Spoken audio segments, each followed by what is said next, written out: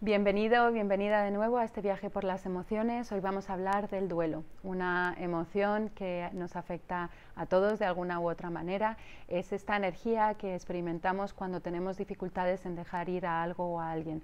La podemos experimentar en pequeñas cosas como dejar ir, por ejemplo, una camiseta que hace mucho tiempo que no nos ponemos o en cosas más profundas y que nos afectan más como una ruptura, una defunción de un ser querido, un cambio de residencia, un cambio de trabajo.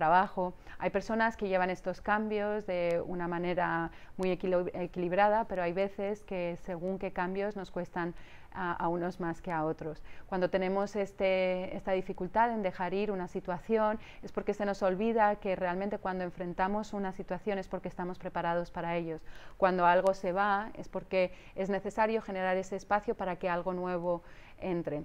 Al olvidársenos esto, eh, muchas veces nos afecta con una profunda tristeza, que es lo que conocemos como el duelo. El duelo afecta a dos órganos principalmente, que son los eh, pulmones y el intestino grueso. Si os fijáis, el intestino grueso se encarga de eliminar todos aquellos nutrientes que no han sido eh, absorbidos por el intestino delgado y los pulmones se encargan de este intercambio entre oxígeno y dióxido de carbono, pero es necesario que haya esta entrada y salida, de la misma manera que con el dejar ir. La ilustración eh, es la siguiente, es esta este dolor tan grande que parece que te, rasga las vestiduras, que te rasga la piel, y es la energía de estar en profunda tristeza por estar observando eh, y anhelando em, algo muy preciado. Esto que vemos aquí más o menos representa un pequeño lingotito de oro, es algo que para nosotros es muy puro. encontraremos personas que tienen más más dificultad en dejar ir y seguro que más de uno conocéis a alguna persona que puede estar años en un duelo. Esa es la energía del otoño y es un poco eh, peligroso porque esa tristeza se encharca en los pulmones y puede generar en una depresión si se mantiene durante mucho tiempo.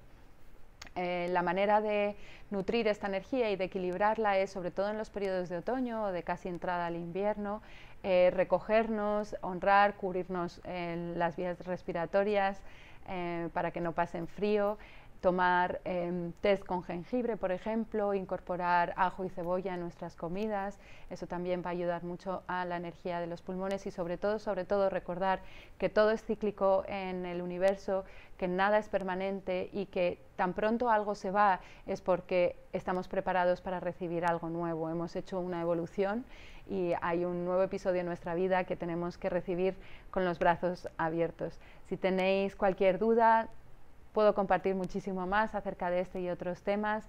Eh, podéis enviarme un mail o dejar los comentarios abajo. Si estáis interesados en recibir cualquiera de las formaciones online y offline, también os dejo los links y hago acompañamientos personalizados a través de las emociones basados en estos principios, los principios del yoga y la meditación.